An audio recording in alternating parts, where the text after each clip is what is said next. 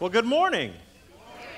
Wow, that sounds amazing. I'm going to try that again just because it's awesome. Good morning. Good morning. Oh, that's even better. This is great. I, am going to introduce myself in case y'all don't know me. My name's Stephen Mitchell. I'm the campus pastor for the East Campus, and, and we get to come and worship together. Sometimes they let us out of the box and we get to come and participate and worship together. And it's just awesome to be able to be here together as a community, right? It's good for us to be able to celebrate this God that is doing so much in this community. And I'm excited because I get to talk about some of the cool stuff that God is doing, and I get to share some of the cool stuff that God is doing at the East Campus. And, and we're talking about this in this sermon series that's called uh, Shipwrecked.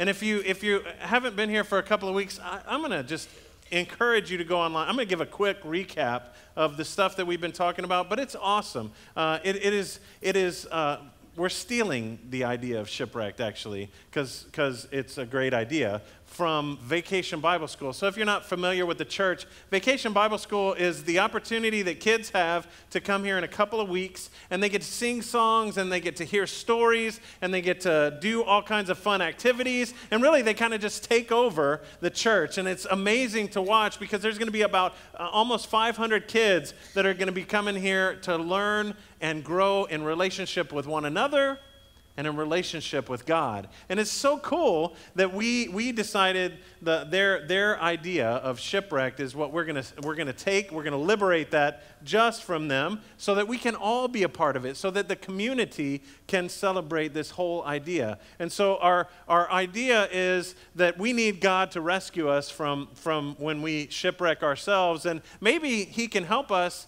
in not being shipwrecked uh, by, by giving us some advice or, or ways to live, showing us by the presence of His Holy Spirit how we can live differently. And so Pastor Keith started us off, and he was talking about how we're like icebergs, right? Only 10% is visible. The, the 90% we keep kind of below the surface, and we're looking for um, the, uh, we need to look to allow God to get into that 90%, because that's really where we live, and we live out of that. And we need, we need Christ to come in there and help to reorder our lives and organize our lives and get us in the right place with Him. And then last week, Pastor Jennifer did a great job with citizenship, talking about how we need to really be citizens of heaven and focus on God and God's reign on earth and be in the world, but not of the world. And this week, we're going to continue this series and we're going to be talking about relationship. And the reason that we're talking about relationship is because I think, quite frankly, if, if you're anything like me, you get relationship wrong. You, you try to do it, you have a tendency to want to do it all on your own. And that's, that's where things kind of fall apart for me as a person. And, and maybe you've experienced the same thing. Uh, as an example, I, I was moving from one house to another. And the basement, it was a ranch, and so the basement is where the laundry room was. And so I was, I, I had planned for friends to come over and help me move. And they were going to show up and in about an hour. And so I was doing the pre-work, right? So I went down to the basement and I was disconnecting the washer and the dryer. And I had moved all the light stuff already, but the heavy stuff is what was left. And so I had called in my, my, my buddies to come over and help me drag this stuff out to the, the truck. And so I thought to myself, self. And this is usually, if you're anything like me, this is where things go horribly wrong. And this is no, ex- no, no exception. I thought, self, maybe I could do a little bit more. Maybe I could strap the, the washer to the dolly and I could take it out on my own. You know, because this is a great idea. Because then, then my friends would get there and everything would be upstairs and they would applaud my Herculean effort to, to help them out, right? So I was, I, really, I was doing it to be selfish. I was like, oh, I'm going to do this on my own. And then they will acknowledge that I have done this thing on my own. And so I, I, I strap the, the washer up and I take it over, and, and it had like a little platform, and then it turned 90 degrees to the steps. And so I wheeled it over and I went up that platform, and man, that was so easy. And then I turned it 90 degrees, and I was like, this is going to be so good, right? And so I, I, I, I'm looking at the dryer and I notice that God is with me because there is about an inch of space between the dryer and the wall and the handrail. So I don't even have to take the handrail off.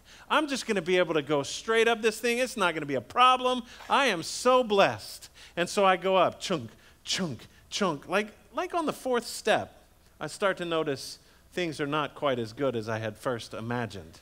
And that is that the wall, maybe the wall, angled in, or the handrail angled in, but whichever was the case, the space was getting narrower and narrower and I was having more and more difficulty getting the dryer up. And, and so instead of being an intelligent person, I chose to continue and do this on my own. And so I, I just decided, hey, there's only like four steps left. I'm just going to do it. There's no way it's going to get that small. So up the next step. And, and I started noticing just how hard this was getting. And, and so on the next step, I, I was going to have to put a little bit of force into it. And so I grabbed the dolly and I just Herculesed it into a wedged position between the wall and the handrail. And, and this is one of the spots that the handrail actually had the support, so there was no wiggle room at all. And so I'm stuck there. Now, here's the funny part is if I let go of the dryer, it would tumble down. So the top would go over the back and it would tumble down the stairs but I couldn't lift it up to move the back of the dryer out. I couldn't get it out of this position, and so I was, I was, I mean, like, I looked really cool because I had my hand wrapped through the dolly, and I'm like calling my friends and being like, "Hey, when are y'all coming over?" Uh, because I, I, I, had like an hour left, and I'm sitting in the hallway uh, in this stairwell, and I'm thinking to myself, "I am so dumb." If I'd have just waited for my friends, I, I would not be in this position. And so, fortunately for me, about 20 minutes later, my son came home and he was able to like spider monkey between the bars and go down below it. And we were able to get it down without just plummeting down and smashing into the wall, which was glorious uh, because my dryer was good. But really, the core of this whole story is that I thought to myself that I should do it myself and I didn't need any help to do this. Now, uh, that, that's, I think, where we, we tend to go wrong as, as a community because we, we tend to withdraw from relationship. We tend to back off and, and try to do things on our own. And I don't think this is any new news to y'all. I think y'all have probably experienced this before. If any of you have, have kids, I can guarantee that you have heard uh, something similar to what my son used to say to me all the time. He would tell me this and it helps if it works. There we go. Me do it, right? So I, I don't know if, if you are like me, but uh, maybe, maybe my kids are the only ones that did this but they want to they want to do it on their own. And so my son would do this over everything. If, if, I, am trying to tie his shoe. He doesn't know how to tie shoes. It's okay. He's going to do it. He would say me do it or bike riding, he wanted the, the, the training wheels off so early. And I'm like, man, this is a horrible idea. I picked that kid up so many times off of the floor because he wanted to do it himself. And so if you have kids, you've experienced this. But if you've been a kid, you've probably experienced this. And the truth is that as adults, we experience this more and more frequently than we'd like to admit where we think that we want to do and i think we, you know jesus thinks we're so cute oh look they're trying to do it all on their own right? And, and, and that's kind of a difficult place for us. So my son really tried to focus on doing it himself, and, and we do the same thing, and perhaps you've tried to do it on your own.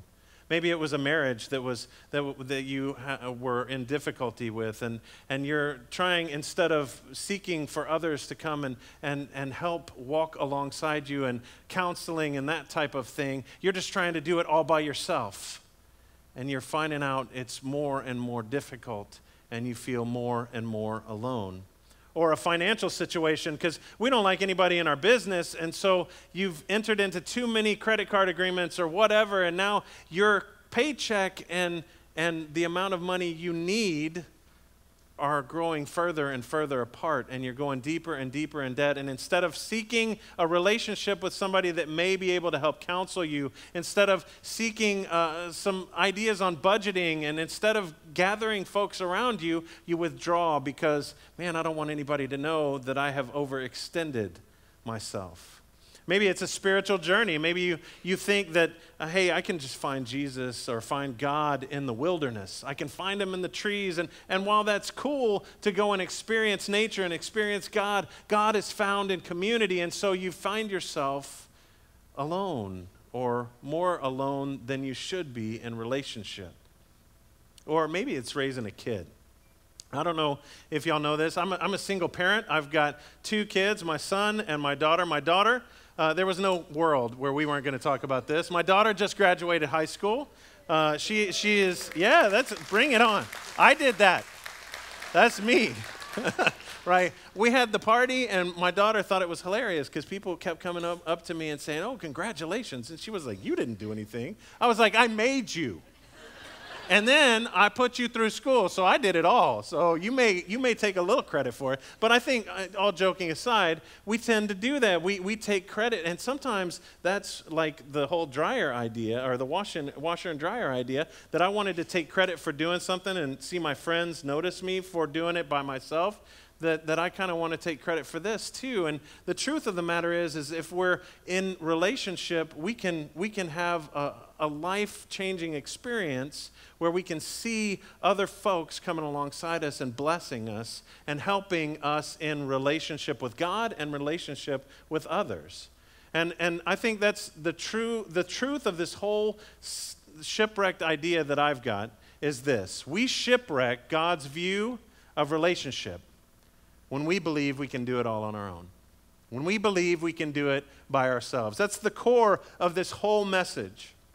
I just want you to realize that God didn't create us for that. We're, we're herd animals. I mean, if you, if you hear about somebody that's a hermit or, or somebody that lives all on an island all by themselves, that's a little weird, right? I mean, so that, that is the idea, is because we, we recognize that we're meant to be together, that God puts us in community with one another. Now, the Bible tells us just this. The Bible tells us that, that we're designed to be in community and in relationship. And it, it starts off in the Old Testament. So the Bible is made up of two testaments with a lot of books in both. The Old Testament is the story up until Jesus, and the New Testament is the story from, of Jesus' life, death, and resurrection, and the early church. And so in the Old Testament, where we start, today, we see exactly that, that God is seeking for us to be in relationship. And it, it's so early on in the story that it's found in the very first book, the book of Genesis. And the, the, the story of Genesis, the first two chapters, is this love story that God has on how God is going to embrace creation, and it's this theological, beautiful narrative of, of what creation looks like and how God goes about it. And what you'll notice is everything that God does, God looks at and says, It is good. So God created the heavens and the earth, and it is good. God created day and night, and it is good. God created, and it was good. But there was one thing that wasn't good, and that was that God created, and I'm going to click it again, and it's actually all right, Spence. I don't know what I did. There it is. Thank you. God created Adam, and, and, and Adam didn't have a partner. Adam didn't have anyone that he could be in relationship with. And so God says it's not good because Adam needs Eve and Eve needs Adam to be in relationship with one another so that they can hold each other up, so that they can love one another, and so that they can be in relationship with God. And, and what it works out like is this God wants us to be in relationship with Him, which is a, a relationship up but God also wants us to be in a relationship out, in a relationship with one another. And, and this isn't just in Genesis. You look through the entire Bible and you will see community after community, relationship after relationship, because God longs for us to be in relationship with Him and in relationship with the body so that we can go into the world and be in relationship with everyone. And so, what, what does the New Testament say about this? Maybe, maybe Jesus says something different. Maybe Jesus does something different. And what we see actually in the New Testament is exactly this. So, here is, here is God, the created Son, as Jesus, walking amongst us. And, and the very first thing he does when he starts his earthly ministry is not go out and do it on his own, but bring together a group, a community that they can live together and they can grow together and they can follow one another's lead. And so Jesus teaches and preaches and, and is doing miracles, and people are seeing some amazing stuff, and people are like, wow, this is, this is different from everything we've ever seen. And the, the core of it is that they are witnessing this community grow and develop and so Jesus puts together these 12 disciples. These are the, the cream of the crop, the folks that he says, oh, you guys are going to be great. And by cream of the crop, I mean fishermen and tax collectors and folks that weren't really what everybody else would consider the cream of the crop. But Jesus brought them around him in a community. And our story that we're going to read from, from the New Testament is it, it comes at the time when Jesus has brought the disciples together and they've seen Jesus doing ministry, but they've never gone out and done ministry with with Jesus.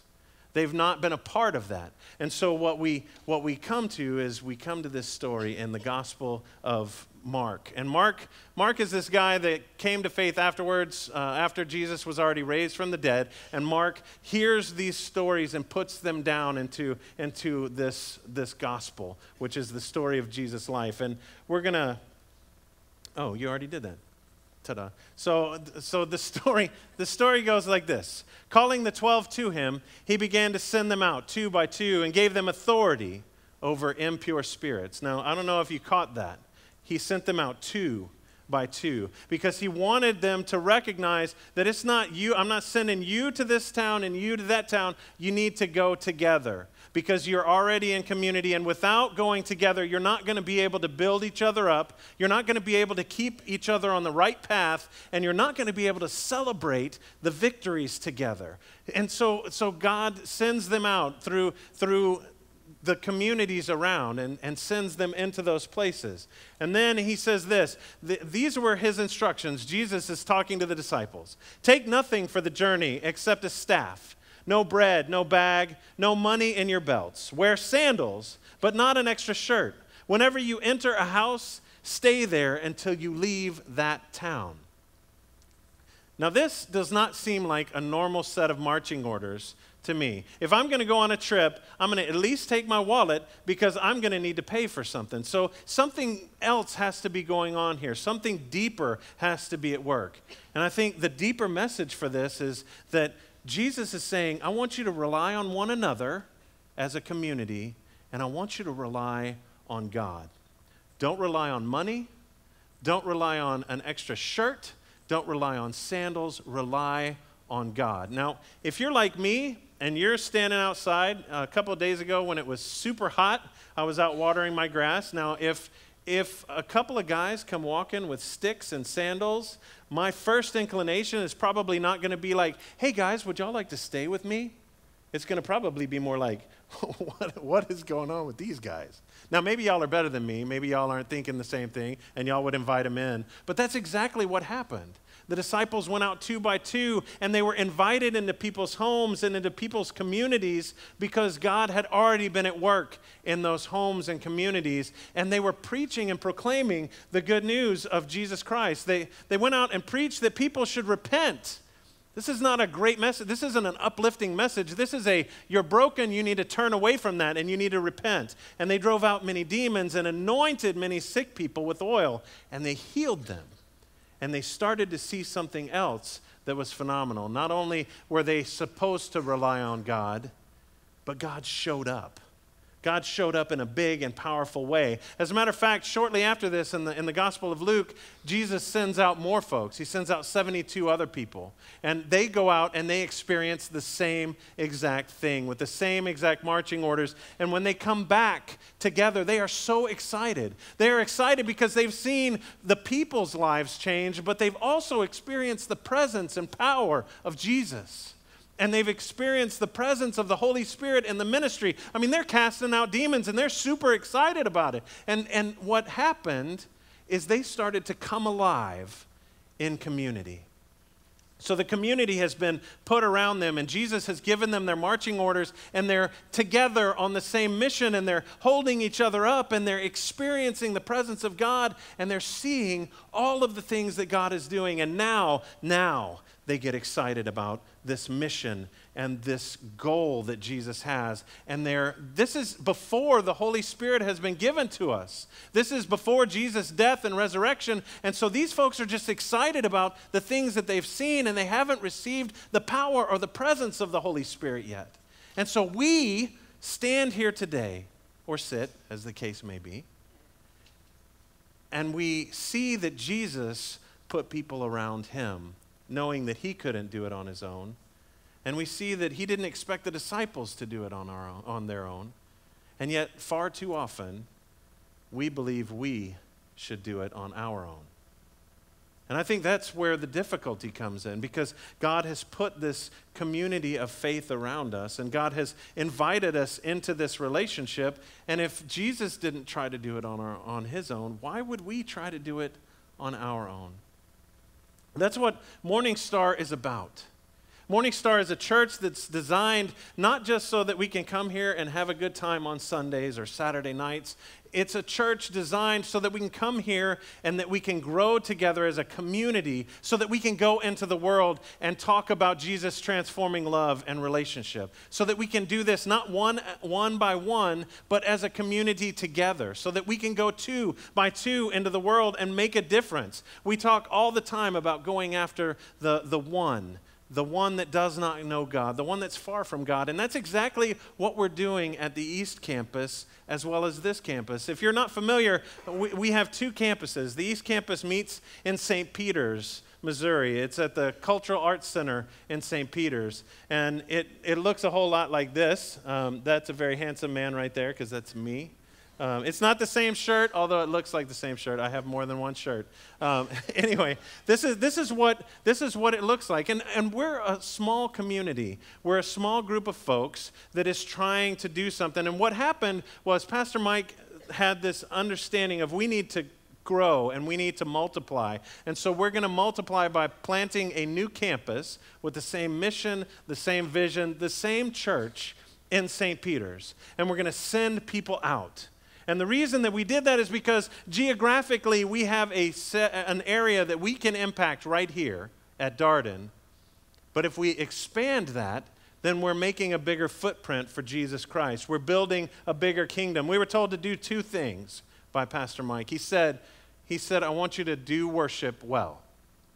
We're doing worship well. You got a, you got a little sample of, of some of that today. And then he said, the second thing, I want you to build community because community is what it's all about. And so we, we have this community of faith that comes together, and, and we have seen some folks that would never step foot in here either because it's geographically too far for them or because it's just outside of what they would hear about. And uh, uh there's a girl that showed up, and she showed up, and, and I was preaching, and, and, and she vanished the next week. And so I thought, uh, I really did a horrible job. Y'all might be agreeing with her right now. But that wasn't the case. What happened was she heard a, a sermon about how we need a Savior, how Jesus needs to be in our lives. And, and what she heard changed her life to the point that she was like, I've got to get some stuff right with me. She went into, uh, into a rehab facility so that she could, she could get cleaned up. And then when I saw her again, she came to me and we, we sat down and we had some coffee and we were talking about stuff. And she was like,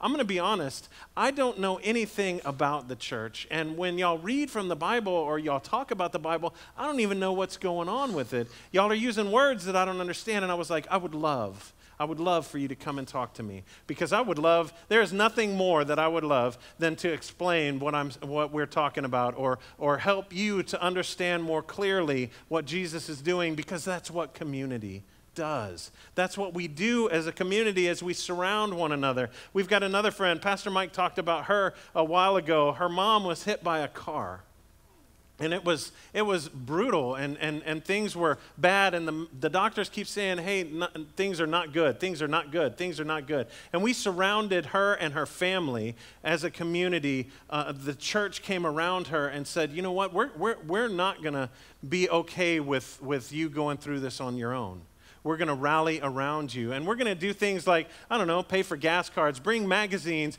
bring food up. Whatever we can do, we're going to surround you so that we can be a part of this with you. Now, it's not our mom that's in the hospital, but we love you and we love her, and so we're going to be present with you. And that's what the church is all about. That's what community is all about. And that's why God gives us these relationships, so that we can come alive as a community of faith and seek after what God is doing and try and grow in that relationship. And, and here's, here's the deal. Earlier I said I'm a single dad.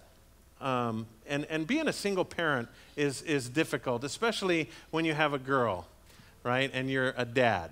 So there are conversations that I wasn't super excited about when she was little, and so I, I wanted to I wanted to put together a group of ladies that were that were godly uh, godly centered women that would come alongside her and help her when when there were conversations that need to be had or when her outsides felt like our insides felt like they wanted to be on the outside because I'm I'm just not built to deal with that conversation for obvious reasons. And so I didn't, I didn't want to do that. And, and so what I did is I, I built this community around my, my daughter. And it went above and beyond what I ever expected. Here's what I mean they, the women showed up in my house and they said uh, what I was doing was not right because my house was a bachelor pad and my daughter was going into middle school. And they said, Your daughter needs something a little different. We're going to give her uh, a room makeover. We're going to paint it. We're going to change the drapes out. We're going to make it look like a young woman's room instead of the Disney cartoon stuff that she's got because she deserves that kind of thing. And I'm, I'm thinking to myself, are you, you don't like my decorating style? Right? I'm, I'm a little offended until I realize that it's their love for my daughter and their relationship with my daughter that is the core of what they're doing. It's not about me at this point, it is about my daughter. And so I step, stepped back and I said, you know, knock yourselves out. If there's anything that I can buy, anything that I can do, I'm glad to do it. And, and, and she was so overwhelmed and overjoyed and appreciated it. And that's what community does. Community comes around when there's difficulty. Community comes around when we celebrate the things that God is doing. And community comes around, quite frankly, because they're almost family. And, and that's exactly what we're after in the church. We want a community of faith that drives us so into life that our day to day job is not just, hey, we've got to go and, and do whatever X, Y, or Z we do. It's instead, our day to day job becomes a mission field where we can go and share the love of Jesus Christ with people that we know that are far from God so that we can go and love on folks that are hard to even relate to, so that we can go and care about people that don't look like us, don't sound like us, don't have the same socioeconomic background as us, don't have any of the same things that we do, because that's what Jesus called us to do. And that's where we come alive. Now, maybe you're sitting out there and you're, you're actually thinking, hey, I, I really need to get into, in, into community. And I've, I've just been coming here and I'm, I really haven't had an opportunity to grow in community. And so I'm going to tell you a few ways that you can do that.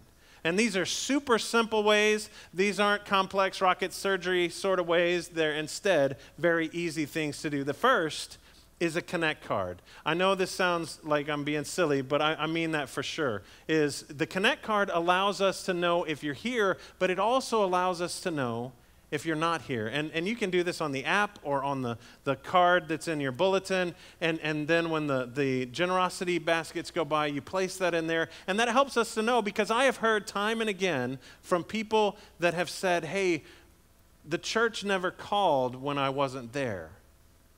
And I would say, so did you fill out connect did you let the church know when you were there so that we could understand when you're not? Because the truth of the matter is we, we want to be there for you. We want as a community of faith to be able to rally around, uh, around each of us and to step into the lives of those around us. And that's core to that. The other thing you can do is, is a pastor's chat. On june 6th we're going to have a pastor's chat it's going to be great because you get to come and you get to hear from pastors. That was supposed to be comical. Anyway, it's, a, it's an opportunity to come and, and hear from us, and it's not just us talking about ourselves, it's us talking about what, what Morning Star is about, where Morning Star is going, and where you can get involved in Morning Star because community is core. And the last is celebrate recovery. And there it is. The, the reason that I bring Celebrate Recovery up is, is this is what happens on Thursday nights. You come in, you worship together as a community, and then you break up into small groups And in those small groups, you form deeper and more lasting community. And those communities lift each other up. Those communities celebrate the victories, and those communities also are, rallying around folks when things aren't going right. And that's what relationship does. That's what relationship is all about. And we have the perfect example of relationship when we look at Jesus. Jesus came into this world when we were far from him, when we were doing things our own way and we wanted to live our own lives. Jesus comes in to rescue us and offers us not just himself, but offers us entry into the family of God. Jesus comes together at a table, much like this one, probably not as high, to be totally honest. But he comes together t- with his community of faith and he says, Hey, guys, I, I know things are, are, are about to get crazy, but I want you to be with me. And, and, and if you think about the folks that were at that table, if you think about the people that were there, every one of them was going to abandon Jesus. One of them was going to betray Jesus over to the authorities. And yet Jesus was right there with them. And Jesus offered to them grace. And that's what this table is all about. Jesus offers to us grace. And so, in a minute, we're going to talk through what communion looks like and how we're going to do that. But, but one thing I want you to understand, first and foremost, is this is not Morning Star's table. Morning Star doesn't own communion, Morning Star just facilitates. It's not a United Methodist table. This is God's table. And God invites all who are, are seeking to grow in relationship. We, we ask that all you want to do, all we want you to do is to be ready to take one step closer to Jesus because God is, is right here waiting at the table. And we don't offer communion one person, only one person. So if I'm by myself, I don't do communion for me. We only offer communion in community we come together to receive communion together as the body of Christ. Once we have heard the word, we respond with communion because communion is what it's all about. Communion gives us this growth and crazy communion, community, it's, it's the drawing together of the body. And so uh, we're going to have a moment where we're going to come and, and people are going to come out and the ushers are going to talk to you about where to go and what to do. And if you have uh, any, any need any help with communion, if you just raise your hand, we'll have people come over and bring communion to you.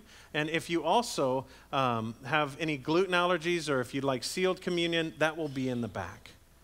So let's prepare our hearts for the reality of what Jesus did. So, Jesus, surrounded by folks that were going to betray him, knowing that none of them deserved it, and yet loving them anyway, he took bread gave thanks to God, and he broke the bread. And he gave it to his disciples, and he said, Take, eat. This is my body, which is for you.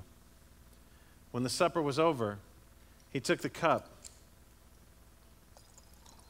and he gave thanks to God.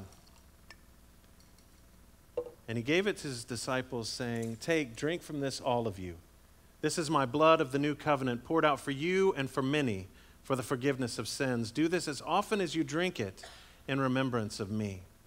And so, in remembrance of these mighty acts of Jesus Christ and the calling of community that you have placed upon us, we ask, Father, that you would pour your Holy Spirit out upon us gathered here and upon these gifts of bread and the fruit of the vine.